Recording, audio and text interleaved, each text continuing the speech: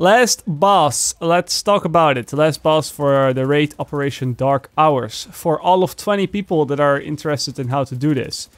it's pretty funny to see uh, how many people are interested in the first boss for the raid, and then how many people are interested in the second or the third boss. Uh, that uh, really gives you an idea of where people are at with the raid and if people have already given up or not. Anyway, decided to make this last video regardless, just in case the raid gets easier in the in the future or for those 20 people that are actually uh, trying to beat it on this difficulty. So yeah, the final boss encounter is a big ass truck. Uh, I, I, don't really know what the official name is, but it, it's a big ass truck with some weak points that you gotta take down, and it takes place outside in sort of a square area. In each corner of the room, I guess is what we're calling it, is an uh, is an anti-air rocket system of some sorts that can be activated by an NPC. And if that does get activated, then that means that you will wipe. So that is the first thing that you have to worry about. Every now and then, a heavy boss will spawn in either one of the four corners. And these corners are numbered, by the way. You have one, two, three, and of course four. Uh, and every now and then a fatty will spawn in one of these corners. He will go to the panel on these uh, on these rocket systems, and you'll have a little bit of time to stop him. But essentially, if you're not fast enough to kill him, uh, you will all wipe because he will activate the rockets and you will all die. So that is, uh, yeah, that's the first thing you got to keep in mind. But that doesn't actually have something to do with killing the boss, because the way that you kill the boss is that you have to repeat a certain sequence uh, over and over and over again, and basically shoot weak points until the boss is dead. So the sequence starts by four players getting into four of the circles uh, that are sort of close in the middle of the map. Again, you have circles one, two, three, and 4 that correspond to uh, the corners and the rocket systems. You again have corner one, two, three, and 4. So you want to have four players get in those circles at the same time. And yeah, you kind of have to get them in there in the same time because uh, they charge up from 0 to 100. Uh, and you kind of want them to reach 100 at the same time. There's a little bit of leeway. You can be a little bit earlier or a little bit later, but they all have to reach 100% around the same time. When they reach 100% around the same time, two vents on the big ass truck will open. One at the front and one at the back. Or, well, the vents don't open, but a protective layer uh, is removed from the vents. And then you can actually shoot down the vents, uh, which is something that you're going to have to do. Now, the biggest tip that I have for you here is to have somebody with a uh, survivalist crossbow ready to shoot at the vent as soon as the protection wears off. Because the vents are pretty tanky, and we actually just shot them down the first time that we completed the raid. But if you want to cheat a little bit, you can use the survivalist crossbow uh, to just shoot at the vent, and the explosion will instantly kill it. This doesn't work with a grenade launcher, this does not work with a sniper. It just works with the survivalist crossbow. So yeah, when you go into this raid, I would recommend to have at least two people play survivalist. Also, uh, something that you want to keep in mind is that you have to stay in the circles even after you reach 100%. If only one person gets out of the circles again, the vents will close or the protective layer will go in front of the vent and you will have to do it all again. So yeah, even if the protective layer goes off the vent and even if you destroy the vent, you still want to stay on the circle. Now after both vents are destroyed on the front and the back, then you also have to toss a grenade both in the front and the back. Uh, this grenade will explode, it will deactivate or destroy something that's inside. And if you toss the grenade in on both sides, then this huge panel uh, will go up on the back side of the truck with three weak points on it. You will only see two weak points initially, but as soon as you kill those two weak points, a third one will open up and that's basically the health of the boss. So obviously, after you toss both of those grenades in, everybody wants to run to the back of the truck to try and do as much damage to these weak points. Because, yeah, there is a timer. If you're not fast enough, if you don't shoot those weak points fast enough, then the truck closes again and you're going to have to repeat the process of getting into the circle, uh, destroying the vent, tossing the grenading, and then running back out. Now, the good thing is, is that you do not have to destroy the weak points all at once. Uh, the damage that you do to the weak points, it sort of saves. So if you destroy one of the weak points and then damage the other one a little bit and then it closes up, uh, then you can just chill. You can just uh, repeat the same process, and then next time the, the thing opens up, uh, you can just take your time and destroy the next weak point. That's actually how we did it the first time around as well. Uh, we, we thought we had to destroy all the weak points all at once, but that's actually not the case. Now, if you destroy both of the weak points, uh, then a third vent will sort of open up. And this vent is actually the health of the of the final boss, the health of the big machine. As soon as you start to damage that, you will see that the boss will start to lose health. Uh, and this is basically something that you're going to have to do over and over and over again until the boss reaches zero health. You want to get in the circles, you want to destroy the vents, you want to toss the grenade in, and you want to run over to the weak points. Destroy the weak points to open the last vent, and then you can uh, damage the boss.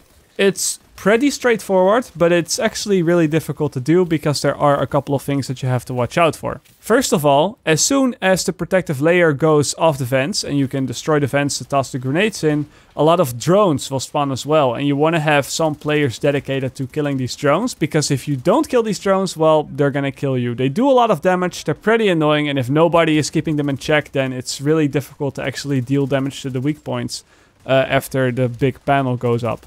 And then also, what you want to watch out for is again that fatty that uh, activates the rockets. Every time that you deal damage to the boss, uh, one of those fatties will spawn in either one of the four corners, and you sort of have to be quick to kill him after. Things do ramp up in difficulty a lot more uh, when you get past halfway, when you get below 50% health on the boss, because things will change up a little bit as well.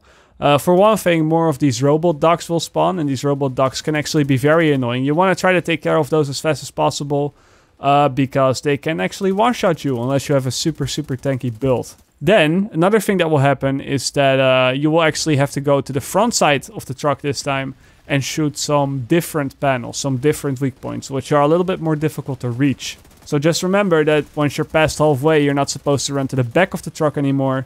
You're supposed to run to the front. And also, to top it all off, you will now have uh, drones that will bomb you and stagger you when the truck opens up, when the when the vents open up.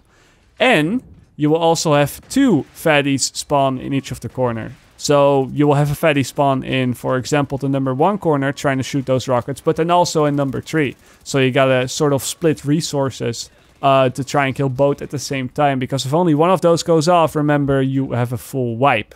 Now this all sounds pretty complicated and it, uh, it can be pretty complicated to coordinate all of this with 8 players, but I'll just let you know the strategy that we used and that we found very helpful. So first up, the thing that you want to do as soon as you drop in uh, into this uh, combat area, you want to have every player sort of split up in groups of two. You want to have two players in corner one, two players in corner two, two players in corner three, and two players in corner four.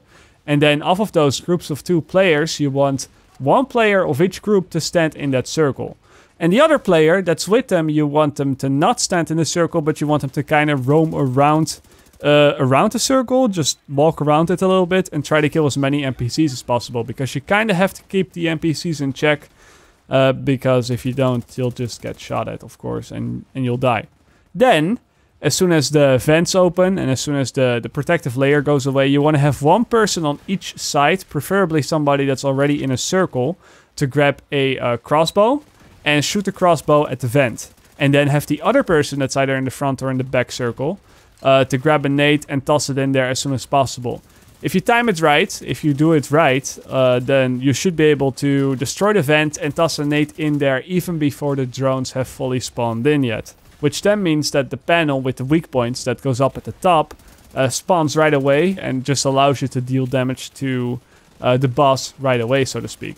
Then you want to have one or two players uh, on uh, drone duty, which basically means that you want them to kill the drones and just not focus on the, the boss or the boss damage at all. And then the other six players actually just want to all run to the backside of the truck and damage the weak points as fast as possible.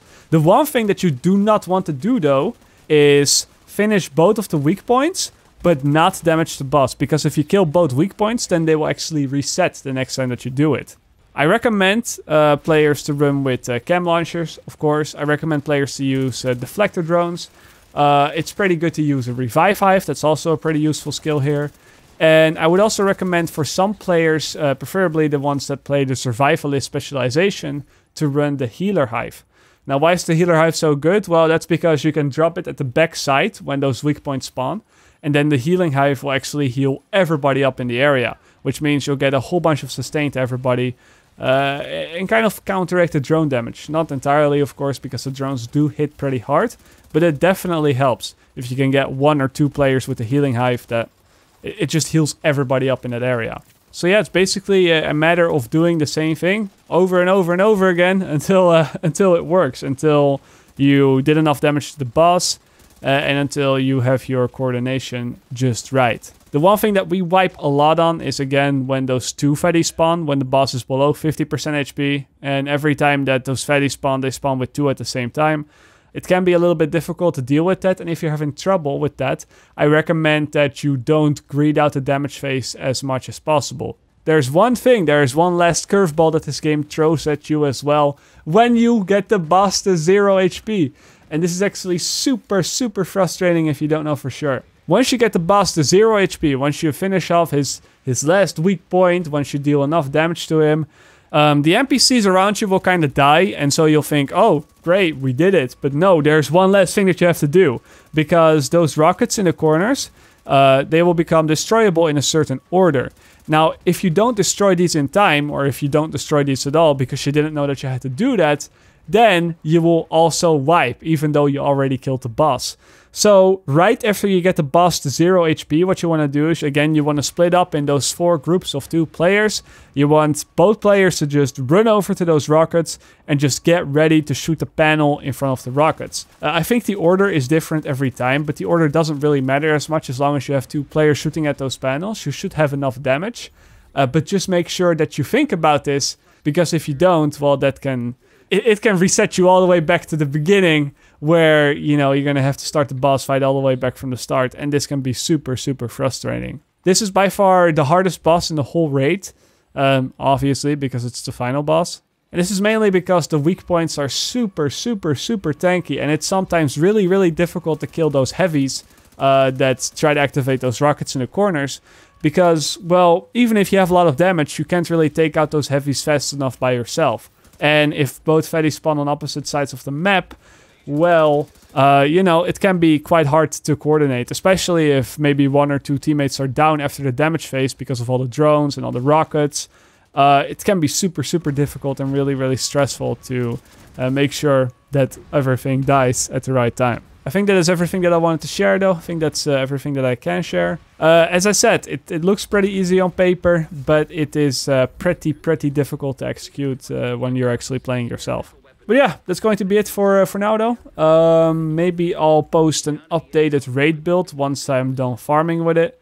Uh, something that's better than the raid build that I posted in the first video because that one is is really really bad. It's just it's just not a great build. It's the one that I used, but uh, there are a lot of better builds that give you a lot more damage to do the raid with. And if I get the right pieces uh, in, in the couple days that I'll be farming, uh, then I'll post a build video on that as well. Alright guys, uh, as always, thank you very much for watching. I'll see you guys later. Or, like they say in the Netherlands, zie je later.